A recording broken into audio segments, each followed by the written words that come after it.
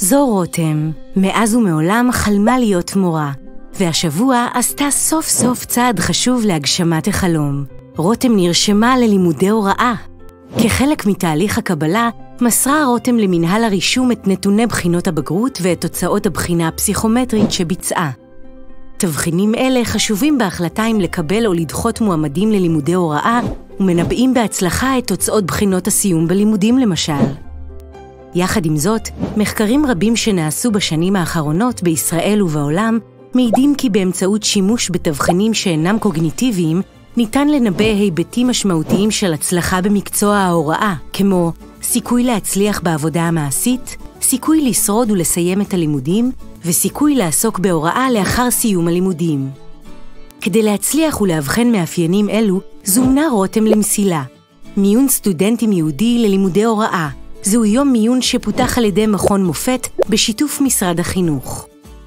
לאחר שזימנה לעצמה תור, רותם מתייצבת ליום המיון ומתקבלת על ידי צוות המעריכים המיומן, הכולל פסיכולוגים ומדריכים פדגוגיים ותיקים.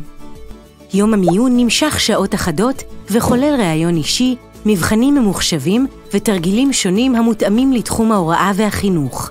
ביום זה יצפו ברותם ארבעה מעריכים בלתי תלויים. תוצאות המיון מתקבלות במוסד ההכשרה כעבור ימים מספר. דוח התוצאות מפורט, ולצד הציון המסכם מוצגת גם רשימה של ציונים במאפייני ההתאמה השונים. מועמדים המשתתפים במבחן מסילה מעידים על מבחן מכבד והוגן ומעריכים אותו כרלוונטי לתחום ההוראה והחינוך.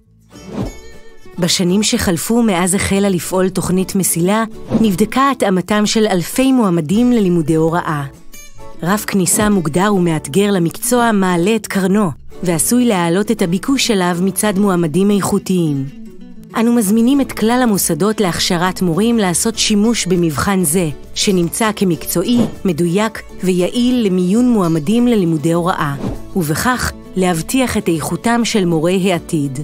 נשמח לתת פרטים נוספים וייעוץ ללא התחייבות.